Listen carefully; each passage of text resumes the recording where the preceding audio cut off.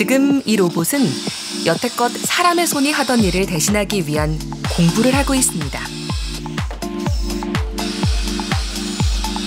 인공지능 시스템이 주문에 맞는 어떤 물건을 집어 올려야 할지, 상품을 줄 때 망가지지 않으려면 어느 정도 힘을 줘야 하는지를 반복해서 스스로 익히는 중이죠.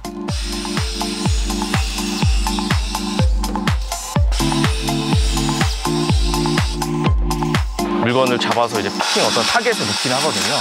이제 그것을 이제 사람이 아니라 이제 로봇이 대체를 해서 이 단순한 작업을 이제 좀 더 로봇이 좀 빠르고 효율적으로 이제 어, 작업을 할수 있도록 하는 거를 목표로 지금 하고 있습니다.